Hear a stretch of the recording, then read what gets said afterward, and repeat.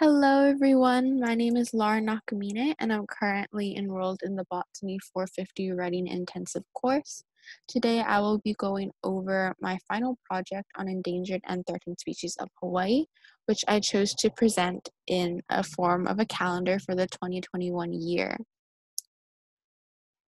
As this is a printer friendly PDF, I tried my best not to put my name on there or any um, other links. So there is a def- different separate document for my references for the pictures as well as the information that was submitted and emailed.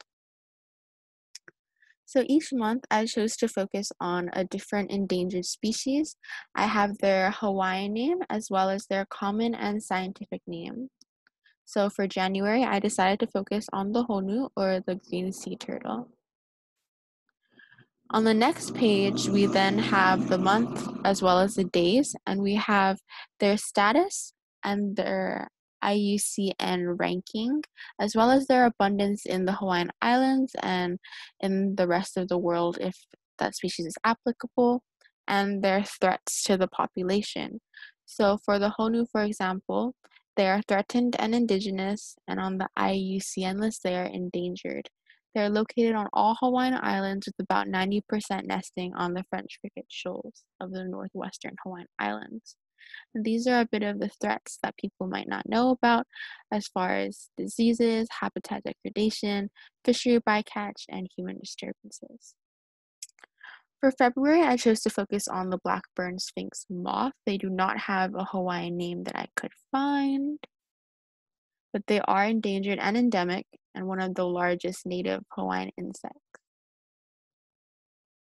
And their abundance isn't mm, well known due to their short lifespan, so it's a bit hard to determine. Next, we have the Hawaiian coot from March. They're endangered and vulnerable, and they're a small endemic water bird, and they're known to be on all of the Hawaiian Islands except for Kaho'olawe.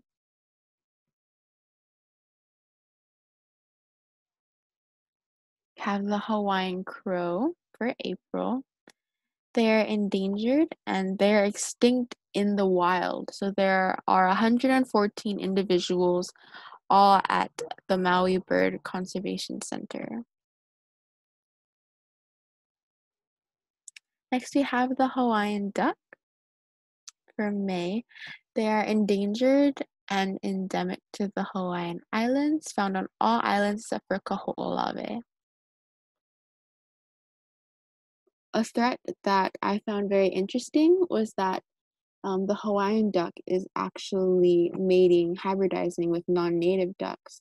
So, what people are trying to do, they're trying to reduce the number of the hybridized ducks so that it's full Hawaiian duck. Next, we have the io or the Hawaiian hawk for June. They are endangered and near threatened. Um, if it is unclear of what the rankings are for the IUCN list, I do have a slide on the bottom that goes through the rankings so people aren't confused if they don't have um, a background in that. Next, we have the Hawaiian hoary bat. For July, they are endangered and indigenous, and Hawaii's only native terrestrial mammal. They're found on all main Hawaiian islands except for Niihau. And of course, we have the Hawaiian monk seal.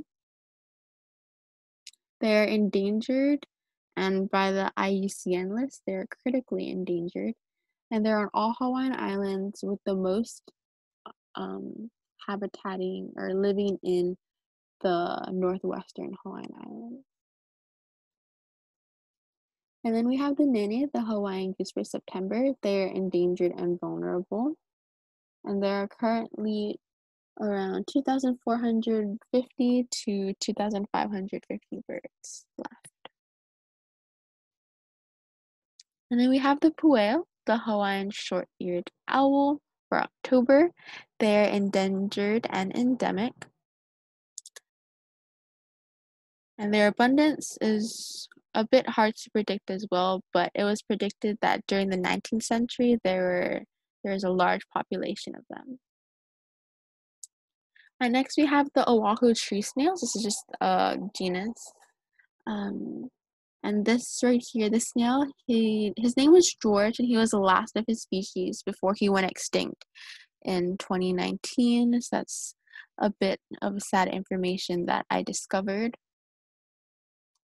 So um, they are endangered and critically endangered, and there was a total of 41 species total, but 22 are now extinct and 18 are near extinction. And finally, we have the short-tailed albatross for December. They are threatened and vulnerable, and they're one of the largest seabirds found in Hawaii, and there are, a huge abundance in the northwestern Hawaiian Islands. And that is the end. Um, on the final page, I guess, if you were to print this out, as I said, this was the printer friendly version. I do have a list of terminology and notes about the calendar. So on the left side, I briefly go over the IUCN red list of threatened species.